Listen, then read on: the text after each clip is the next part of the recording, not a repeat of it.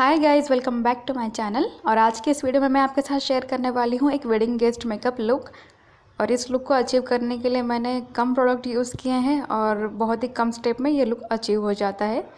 और video start करने से पहले बताना चाहूँगी, अगर आपने मेरे चैनल को अभी तक सब्सक्राइब नहीं किया है तो प्लीज़ सब्सक्राइब कर दीजिए। सबसे पहले मैंने यहाँ पर प्राइमर यूज़ किया है और उसके लिए एलोवेरा जेल यूज़ किया है। मॉइस्चराइज़र के लिए मैंने निवे की क्रीम ली है और इसको आपको अच्छे से अपने फेस पे ब्लेंड कर देना है।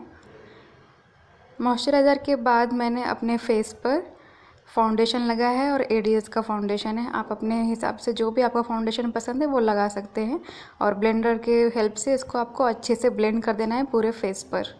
उसके बाद मैंने इसको सेट करने के लिए मेबलिन का कॉम्पैक्ट यूज़ किया है।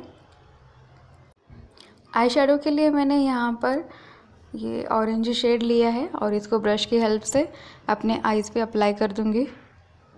इसको बहुत अच्छे से आपको ब्लेंड करना है। दोनों भी आइज़ पे आपको शेम सेट लगा के इसको ब्लेंड कर देना है। और मैंने इसके ऊपर एक हल्का सा गोल्डन कलर लगाया था जो कि शिमरी शेड में था। और उसके बाद मैंने ब्लश अप्लाई कर दिया है यहाँ पर पिंक शेड में। और इसको भी आपको अच्छे से ब्लेंड कर देना है ब्लश को। हाइलाइटर के लिए मैंने ये वाला कलर चूज़ किया है। ये काफ़ी अच्छे से शाइन करता है आपके चिक्स पर। चिक बोन पर आपको इसको अप्लाई कर देना है, उसको अच्छे से ब्लेंड कर देना है हाइलाइटर हाइलाइटर से आपका फेस ग्लोई दिखता है। और उसके बाद मैंने यहाँ पे रेड लिपस्टिक अप्लाई कर दी थी। और आईब्रोज भी अपने सेट कर दिए थे मैंने।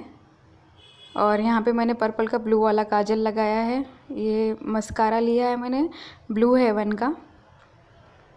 और उसके बाद मैंने आई भी अप्लाई कर दिए थे फेक आई और उसके बाद ज्वेलरी वगैरह पहन के, ये रहा मेरा फाइनल मेकअप लुक और इस वीडियो को आप अपने फैमिली के साथ फ्रेंड्स के साथ ज़्यादा शेयर करिएगा.